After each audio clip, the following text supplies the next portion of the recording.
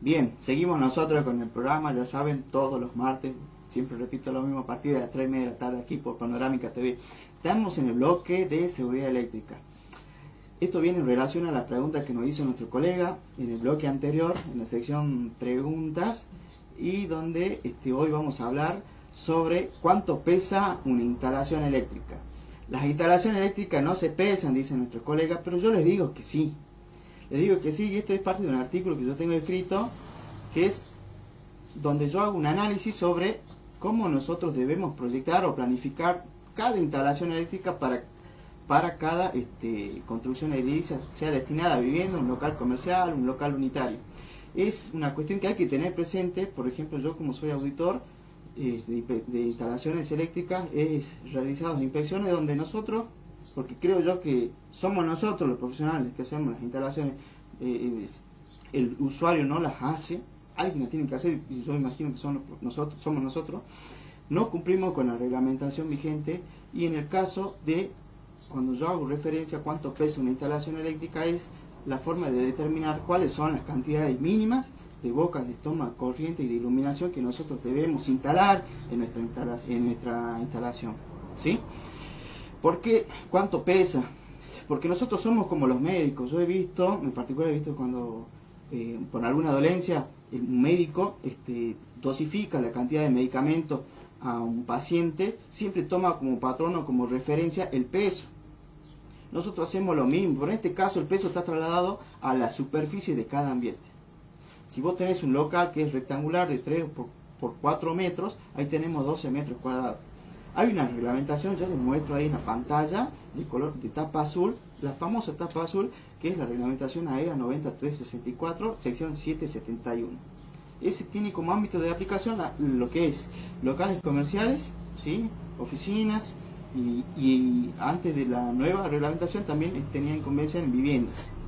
Ahí nos indicaba en la tabla que ustedes van a ver en pantalla que por cada ambiente, fíjense que hay un detalle, esta está en la reglamentación, yo traje un fragmento únicamente ahora de esta tabla, pero por cada ambiente y en función a la superficie que tiene cada ambiente, entiéndase como ambiente local, este, destino, ¿sí? Estamos hablando de lo mismo, o sea, un ambiente puede ser un dormitorio, una cocina, ¿sí? Un baño. Por cada uno de estos ambientes y en función a la superficie que tengan, yo, mirando esta tabla, yo sé cuáles van a ser las cantidades mínimas, mínimas de toma corrientes y de pocas de iluminación que, que debo instalar, ¿no cierto?, en ese local. Eso es lo que yo llamo cuánto pesa una instalación eléctrica. Saber, como instalador, llegar y determinar esa superficie a fin de yo saber cuáles son los puntos mínimos de utilización, como dice la reglamentación, traducido en la práctica nosotros decimos boca. Hacemos ese reduccionismo, la reglamentación dice puntos mínimos de utilización, nosotros decimos boca. Pero es yendo y acudiendo a esta tabla. ¿Qué necesitamos? No necesitamos ni matemática superior. Multiplicar, ¿no es cierto?, las dimensiones del local, ir a la tabla y determinar mi cantidad mínima de estas bocas. ¿Para qué sirve esto?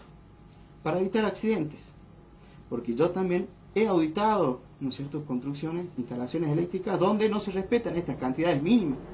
¿Y qué es lo que sucede al no respetar estas cantidades mínimas?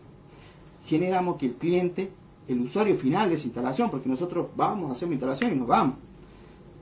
¿Qué es lo que sucede? Que hacemos que el propietario improvise. Le dejamos una boca, dos bocas, cantidades menores a la establecida por la reglamentación y recuerden que ahora tienen consumo celular, cargador de celular, eh, la tablet, eh, la computadora y, un montón de eh, aparatos electrónicos y otros que con potencias mayores todavía, donde qué va a hacer al no tener la cantidad mínima donde conectar ese aparato, qué va a hacer, te va y te compra un triple, un adaptador, hay cuestiones que no están permitidas, no están permitidas que ya lo vamos a tocar en, en otro bloque. ¿qué sucede? Sobre, se generan una sobrecarga puntual en alguna de estas bocas, que no estaba preparada para ese tipo de consumo.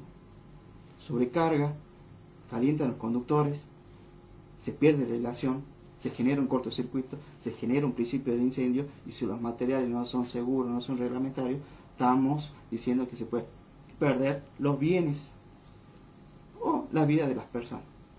Por eso, yo este, siempre los invito a, mis colegas, a la hora de, de intervenir en instalación eléctrica, primero determinemos lo que yo llamo peso de la instalación eléctrica, ¿no es cierto?, para saber dónde estamos parados y cuáles van a ser las bocas que como mínimo debemos instalar. Se lo dejo para que reflexionen y lo tengan presente. Seguimos nosotros con, en el próximo bloque.